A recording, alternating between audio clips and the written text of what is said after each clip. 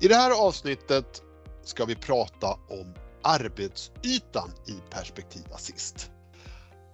Vi befinner oss nu i den på första nivån eh, och här ser vi då översikten på alla de tre standarder ledningssystem som ingår i tjänsten. Arbetsytan för respektive standard hittar du här nere.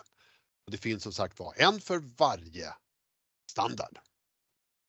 Vi klickar på arbetsyta och kommer då till den här vyn. Man kan säga att den här vyn består av tre övergripande delar.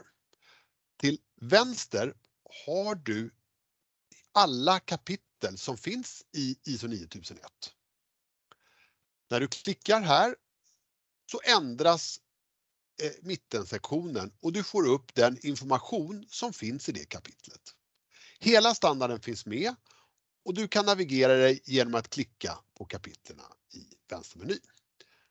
Här presenteras kapitlerna och i högerkolumnen är där du ska jobba med respektive kapitel. Under detaljer, som vi kommer gå in i ett senare kapitel, hittar du där du kan lägga till information. Under vägledning så hittar du den information som finns i ISO 9002 och här tror jag du Mikael har lite grann att lägga till. Ja just det, här har vi alltså valt att eh, vid respektive delkrav eh, lägga till då vägledningsstandarden i 9001 som alltså är 9002 som är en vägledningsstandard för att tolka de olika delkraven.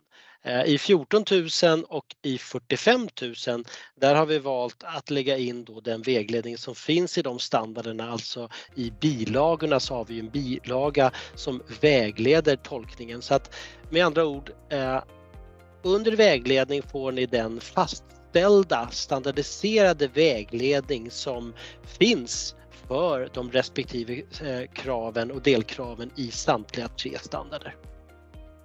Tack Mikael! Vi går vidare.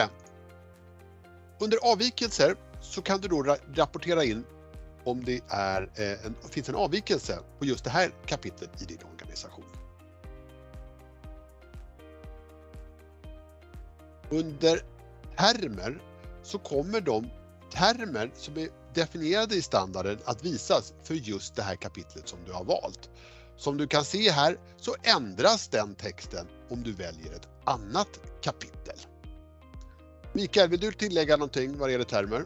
Ja, och det är ju här är ju bara då för att förenkla språkbruket. För en som inte är helt van i standarden så är det ju som så att det finns ju en terminologi, ett språkbruk i de här tre standarderna där det inte alltid är självklart vad de olika begreppen står för. Och då har vi förtydligat det genom att vi talar om vad de olika termerna, definitionerna, eh, hur de ska definieras helt enkelt. Så att ni förenklar för dig som användare.